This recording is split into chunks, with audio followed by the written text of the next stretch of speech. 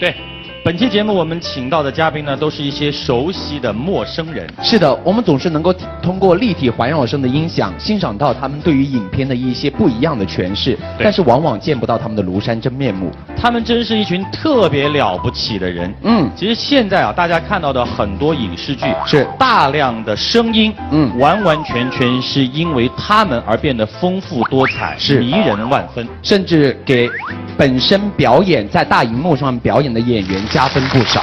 对，今天我们请到的就是非常优秀的配音演员，我们要来揭开他们神秘的面纱。让我们欢迎今天的第一位配音演员季冠霖，欢迎。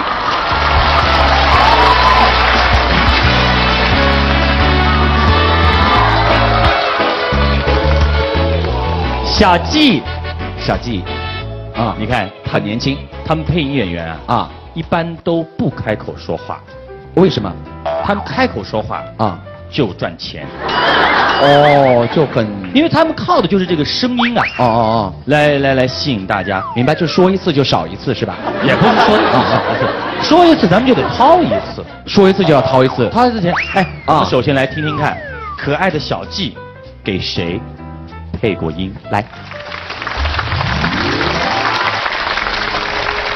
岁如榆木微有声为一肺，边缘如涌泉连珠为二肺。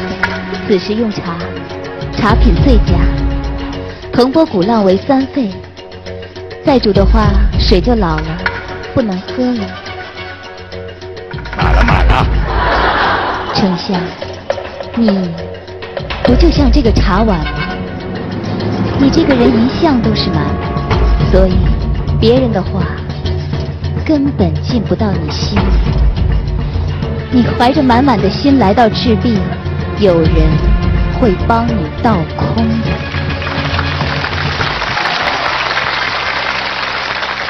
好有味哦！马现在大是是这个女孩子配的啊。而且我觉得冠霖的外貌还真的跟这个跟这个声音，它本身的声音相得益彰哎。对对，而且还有一点那种，很灵秀，而且而且啊还有一点小小的带那种台湾腔，有一点点。有一点嗯，当时是要贴一点林志玲本身的那个声音，啊就是她的那个语言，对。